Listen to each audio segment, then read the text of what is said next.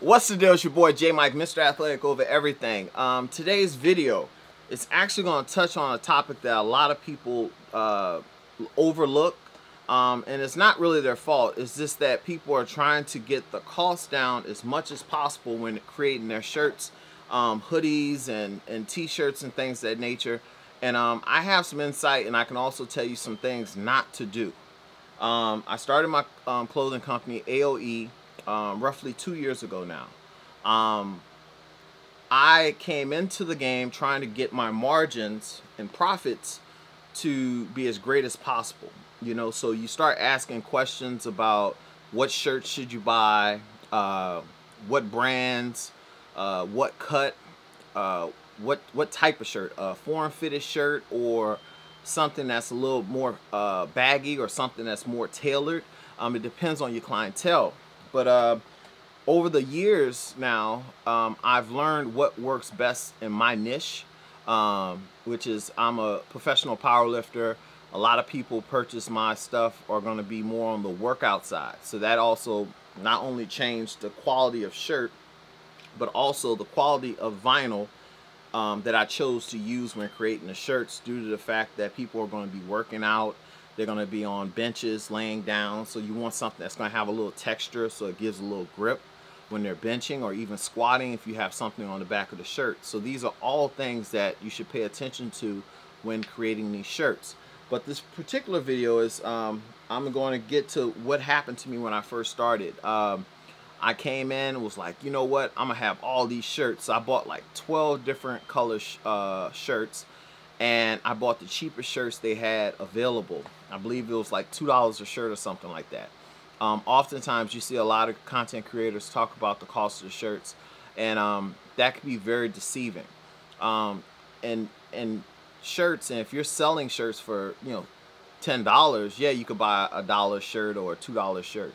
But if you're trying to get $25, $30 a shirt, I recommend recommend going with the best on the market or what's what's mostly uh,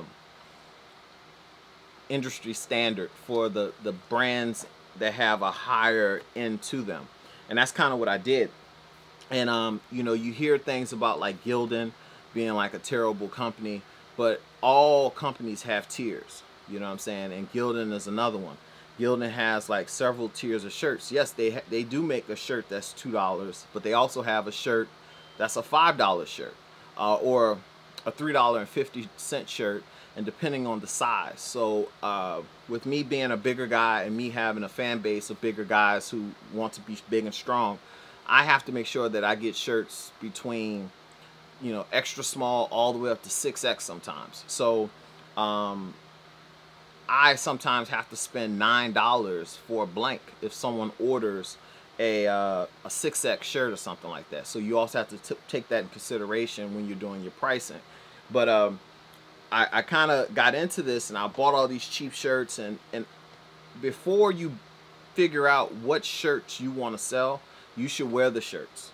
You should ask uh, people who are going to be your customers what kind of shirts they prefer because what you'll find is is that you might wind up wasting money on shirts that you'll never use. Um, you go to the to the shirt stores or the wholesale stores and you buy all these different colors. And to be perfectly honest with you, um, when you're first starting out, I recommend going no more than three colors on shirts. And if I had to, to tell someone who was really starting from ground one, I would start with a black shirt. Um, if you do a design, do it in black and sell that shirt. And one of the things that people don't realize is that, you know, your first shirt is the easiest shirt to sell. Um, my first shirt was a, a, shirt after I left my I had a huge sponsorship with a big company. And um, I came out came out with this design shirt. It was real cool. I had got 50 shirts. It sold out the same day right? So I'm like yo everybody's rocking with the kid right and then I did another shirt and it didn't sell. I didn't sell not one design of the next shirt that I did on my own when I started pressing um, the first designs. But the reason is is that people want to support you but they kind of just do it just because like oh, okay I'll buy a shirt. But then when they see that you're really trying to do this you actually have to go another step um, to make sure that you can get them to buy it as something that they want to be a part of um, on the daily. And that's what all these shirt brands and um, clothing companies are about. It's about association. What are you associated with? Are you associated with greatness? Are you associated with motivation? Do people, um, you know, follow you for inspiration? Things of that nature. All these things play a huge factor. But when you're picking out your shirts, you should think about this. Like, do you want a shirt that you're going to be selling for $10 a piece? Or do you want something that you can sell for 25 or $30 a piece? And that was something I had to actually come to grips with. Now, this particular shirt here is a Gildan. Now, this was a, this is the soft, I believe this is called the, the soft something shirt by Gildan. It's not their cheapest shirt. It's like an in-between. It was like a $3.25 or $2, maybe $2.75 a shirt. And um, I went in this direction. So I purchased a bunch of different colors. I bought like 10 in each size, not knowing uh, who actually purchased shirts. And, you know, for every business, you'll figure out uh, who your clientele is. Um, and I found personally that uh, the most popular size is large, right? Uh, extra large is not a very popular size um, for my, my customer base. Um, 2X, 3X, uh, small and large. I can almost not buy mediums and extra larges and extra smalls. Um, and I figured this out with the first wave of shirts. I bought the shirts and then I felt my shirts compared to other shirts and I'm like, ah, this Gildan, you know, and I heard the bad rep that Gildan got and then I started learning more about the shirts and you know something about this particular shirt and you'll you'll be able to tell with the quality of shirt depending on um, where you're purchasing it, purchasing it from. There are small little details about shirts that you don't really think about but these Gildan shirts don't have seams right? So if it doesn't have a seam it's not going to be tailored.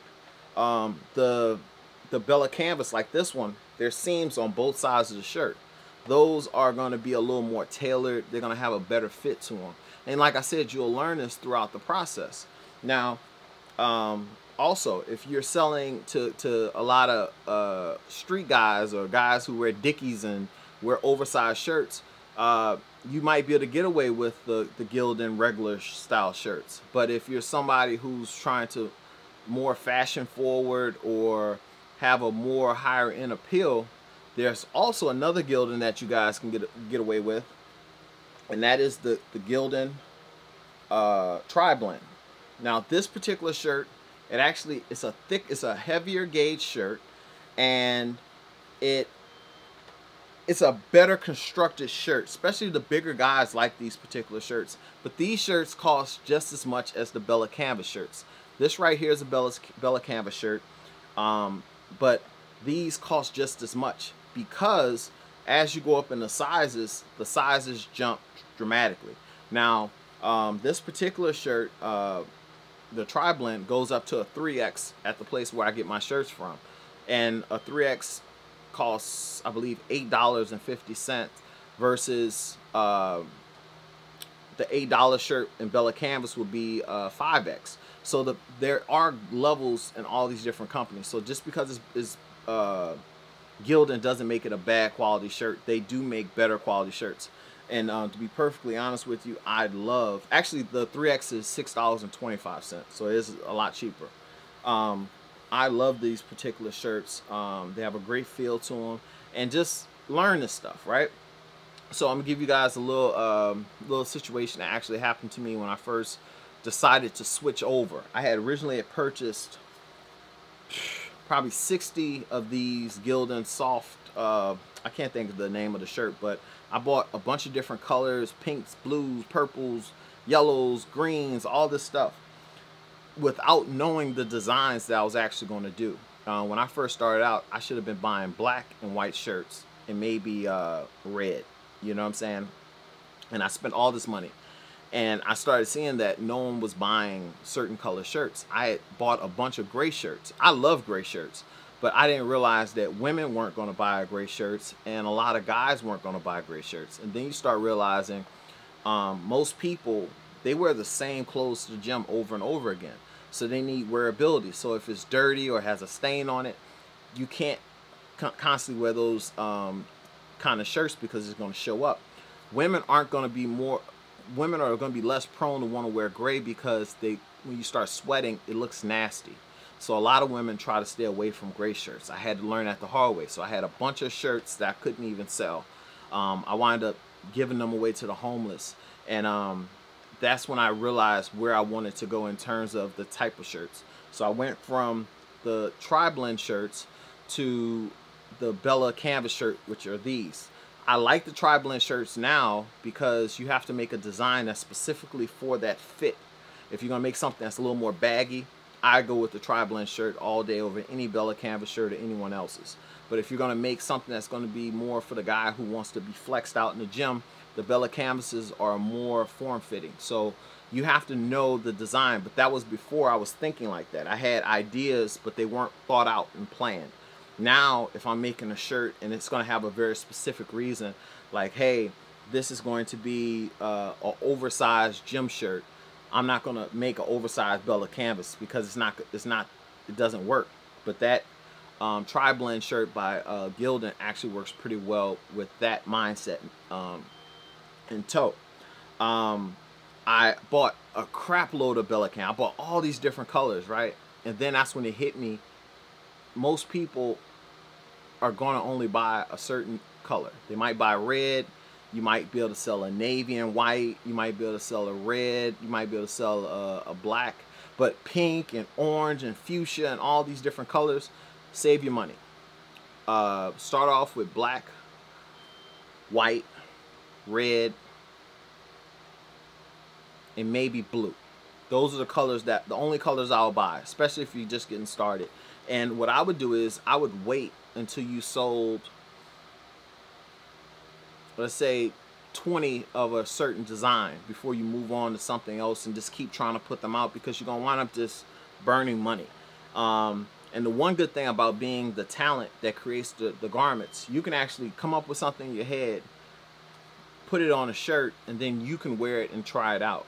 And you don't have no minimums and things of that nature. So um, that was something that the first when I first started I had went through a print company and the guy kind of messed up the shirt and then didn't want to fix it. So I was like you know what? I'll do it myself. So now I'm able to do trial runs with something. So if I have a shirt color that I'm not too sure about or uh, a color combination I'll just make it in my size and then wear it and see how it performs. And that has been working very very well like I said this video is maybe a little bit over all over the place, but I think that it is very helpful. I wish I would have had more of this when I first started. Uh, and the thing about the color shirts, um, I was with a huge company, and they were like multi-million dollar company. And um, I was coming to them like, yo, man, all y'all shirts are black. You know what I'm saying? You need to make some different color shirts, like a blue, a, a red. And he says, Jason, no one buys those other color shirts we have marketing data that says 86% um, of the customers are buying black shirts. And I kept saying, why would someone buy a black shirt over and over again? And then he started telling me that people wanted to have the wearability. If the shirt was stained, um, you wouldn't be able to see it because of the color of the shirt. And then also most people uh, want to match up their their uh, workout stuff with what they're wearing to the gym and a lot of times the stuff is black. So once I started taking this information in I started uh, not wasting as much money. You know I have a couple of designs that are my core designs and I know that I'm always going to need black shirts. Um, I'm always going to have a use for a red shirt in my company's uh, color schemes and things that nature. So um, I hope this video actually helps you guys um, I want to put out more and more content because I've, I've done a pretty good job so far in my first couple years but there are a bunch of times where I wasted a bunch of money especially on shirts. And that's something that you don't want to do. I waste money on shirts and waste money on vinyl that you're not going to use. So um, I hope you guys enjoyed this video. Until next time AOE oh one last thing. Um, if you guys want to follow my journey you can follow me on Mr. Athletic over everything on Instagram. You can follow my powerlifting, my sports card collection, and all that stuff there, as well as on YouTube. Um, and my website is athletikovereverything.com. And if you guys are over there, I appreciate you. All right, guys. Later.